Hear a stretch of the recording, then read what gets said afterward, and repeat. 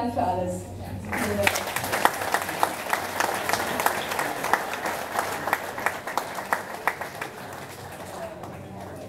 Okay, mal Halfenberg wollte ja eigentlich schon mal von der Schule gehen und damals haben wir ihr zusammen einen Thermogutschein geschenkt.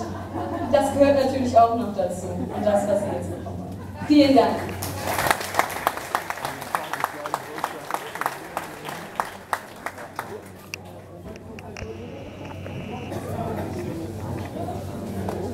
Ja, vielen Dank euch allen, euch alles Gute und nehmt ein kleines Präsent von der SV mit und vom Förderverein. Bitte, bitte, Freunde.